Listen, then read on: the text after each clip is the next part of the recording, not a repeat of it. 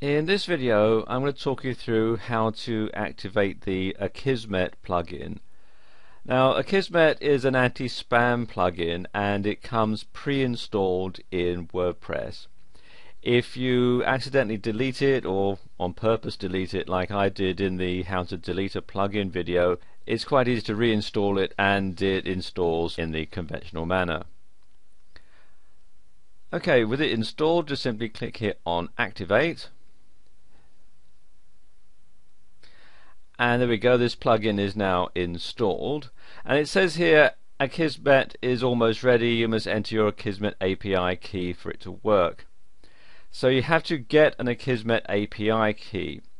Now up until recently you could get one automatically assigned if you had a wordpress.com blog. But recently they've changed that. So now you have to go here where it says sign up for an Akismet API key. So click here and it takes you to this page here. And you click on this button here that says get an Akismet API key. And then you have to decide which plan that you want. And if you're going to use this for commercial purposes you now have to pay for the uh, API key. And you can see the various plans that they have uh, for multiple site access if you're selling things from your blog, it's $50 a month. If you're a professional with a single site and it's a non-personal site or a blog, it's $5 a month.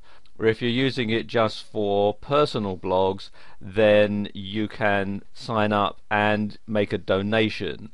So click here on where it says sign up. It takes you to this page here.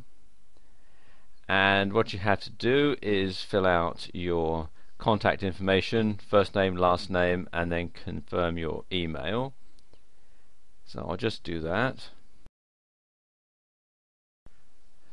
Then you're asked to make a contribution and you can adjust the slider bar here to determine how much you want to pay or contribute per year and you can pay by credit card or PayPal.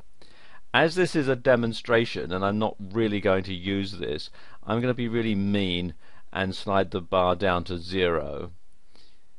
Obviously if I was using it I would probably go for the $5 a month plan because if I had a blog like this I would probably be using it to sell an affiliate product or something like that. Okay and you then say that by clicking continue you agree to the terms and conditions and privacy policy so you'd want to take a look at those and agree to them before you click continue and then click on the continue button. And there we go that's done. Now you'll be sent the API key via email and then you can click this link here to go back to your WordPress account. So I'll just do that now. And it takes you back to the configuration page. And we should have if I check my inbox there we go.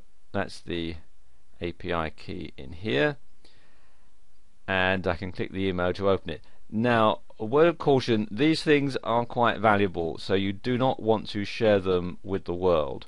Keep it quiet keep it secret like you would a password. So I'm just going to pause the video now while I get my API key. Okay, I've copied that to the clipboard, so now I need to enter it. And just paste it in here.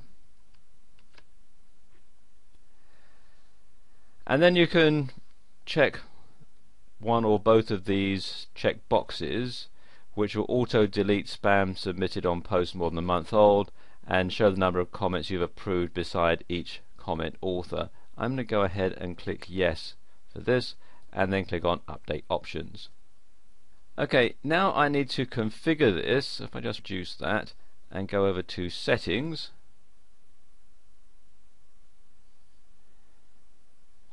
and click here on the link that says discussion you can see the discussion settings here they're all part of this plugin some come pre-checked and my advice would be to leave the ones that are checked by default properly checked. One that I would check if you want to be very careful or very cautious is this one here. users must be registered and logged in to comment and also because a lot of people when they're posting spam comments they'll also put a link. There are commercial software packages available that will enable you to place a comment with a link in somebody's WordPress blog for SEO backlinking purposes. So you can see hold a comment in the queue if it contains two or more links.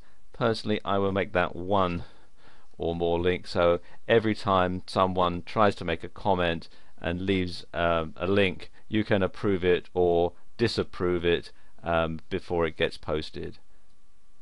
Okay. The other one to do is here where it says comment blacklist. Now a lot of spam posts are going to be for things like Viagra or phony college degrees or knockoff watches, uh, fake watches, that sort of thing.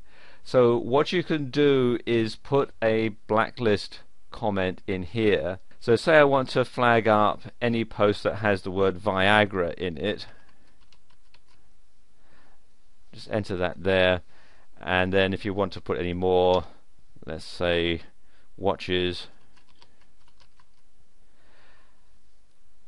and so on. So add them in one word per line. A word of caution obviously, if your blog is about further education or it's about selling watches, then obviously you wouldn't want to put watches or degrees in here. So you need to be careful that it's not going to stop people who are going to be um, making a legitimate comment on your blog from actually making that comment and you can also have a setting here for avatar displays. You can either show avatars gravatars and so on. And for gravatars you can also set the maximum rating. Like there.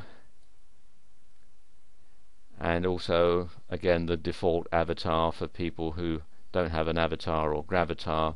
I'm going to keep it there as mystery man. And then click here to save changes. So there we are, the settings are all saved and that should help prevent spam comments from being placed on this blog.